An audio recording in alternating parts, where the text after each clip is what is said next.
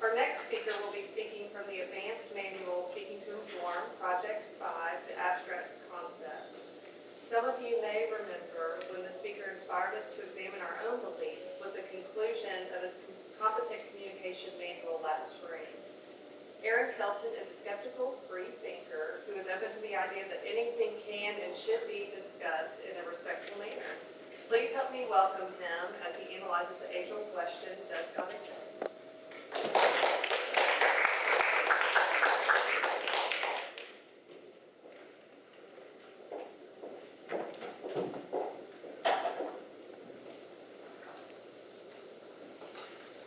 Question boldly even the existence of God, because if there be one, he must more approve of the homage of reason than that of blindfolded fear. Toastmaster Megan, fellow Toastmasters, honorable guests, the words that Thomas Jefferson said so long ago, I would like you to think about. Because it can be a touchy issue, I want you to raise your hand, but just think in your mind's eye and answer these questions. Is there a supernatural being that for the most part of us here, there's probably going to be a male monotheistic God that you believe in? Okay, so think about your answer. Now, have you ever questioned the existence of such? Well, today the purpose of my speech is to analyze the age-old question, does God exist?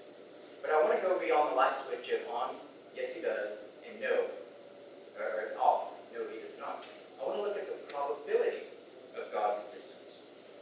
Now, I want to define the scope of this speech such that it's, I I just want to look at the veracity, of the truthfulness, the conformity to facts of the question, does God exist? I don't want to look at human suffering in the world and go, oh, how could there be a God because of this? I don't want to look at scriptural or scientific contradictions, such as the beginning of the universal conception of life either. And I don't want to go into religion per se and, and the possible evils that can come out of it, such as 9-11 or the abortion clinic bombings. Rather, I want to be very tough on the merits of the question at hand, but soft on the people. So let's go beyond. Let's go beyond just the on and off. Yes, God exists or no, He doesn't. And look at the probability. I'm passing out some sheets here. Got one already? Yes. Since we don't have proper projectors. Yeah.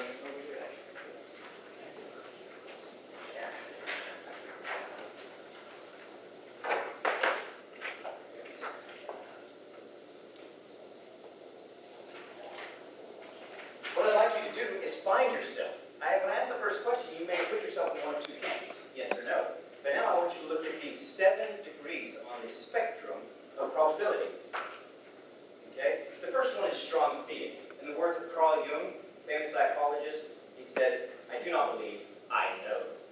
The second, the second is de facto theist. And de facto just means in practice.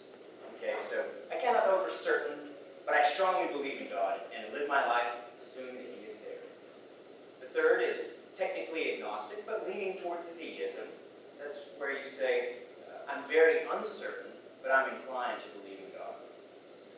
The fourth is, is about right in the middle, and that's a completely impartial agnostic, exactly 50%, where the existence and non-existence are exactly equiprobable. The fifth, and now we've crossed over, no pun intended, is technically agnostic, but leaning toward atheism, where you say, I don't know whether God exists, but I'm inclined to be skeptical. Number six is the counterpart to number two, where you're a de facto or in practice atheist, which is a very low probability. And so you might say something like this, I cannot know for certain, but I think God is very improbable.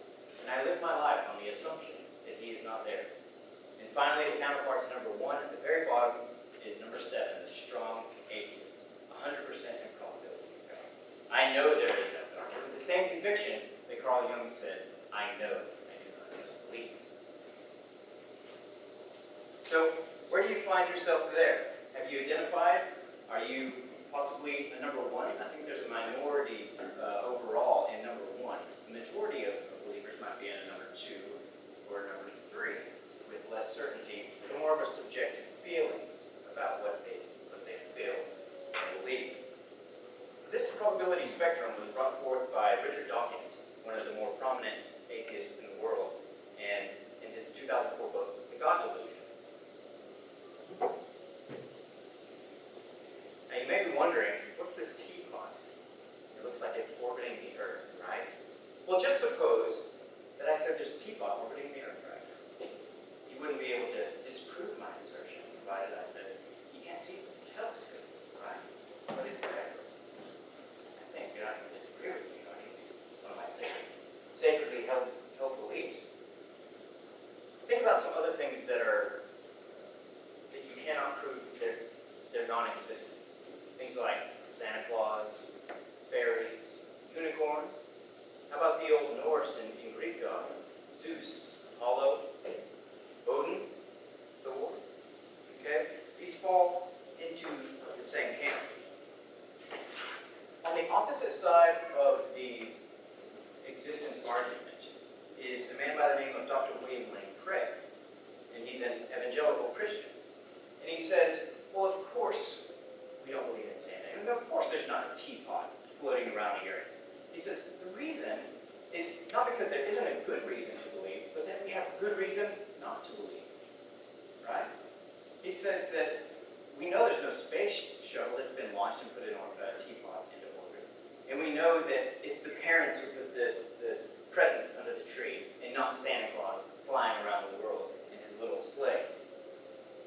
And then he goes on to say that absence of evidence not evidence of absence. I'm going to say that again. That the absence of evidence is not evidence of absence. Okay?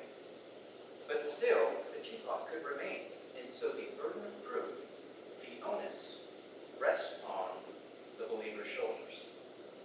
And so possibility for existence uh, remains. But the fact of the matter is, we're all teapot atheists, aren't we?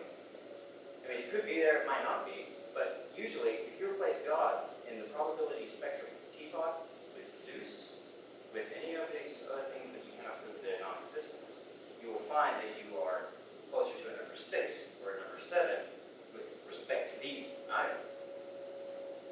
Okay. The thing I want to point out is that the odds are not equiprobable. That there is a, a probability, and, and in this case, the odds in favor do not equal the odds against uh, for the argument of, of such a thing existing. Now, personally, I say, I don't know. I look at the inception of the universe, life itself, and I say, I don't know. But I think that answer can be improved. I can say with what degree